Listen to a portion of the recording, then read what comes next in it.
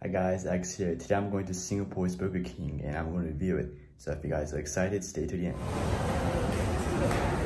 So this is the meal I got from Burger King. Double cheese Whopper.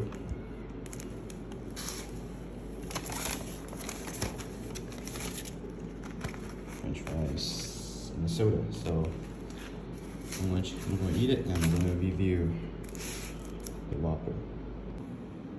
This is what the Whopper looks like. Double cheese, cheese, tomato, lettuce, mayonnaise. I'm gonna try it, how it tastes. I just finished eating and one thing I like about Burger King is the size of the burgers compared to other burger chains. They're pretty large. For the price, it's pretty worth it.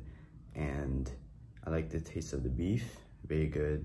One thing I don't like about Burger King is the french fries. Uh, they were not seasoned, so the, uh, the taste was pretty bland.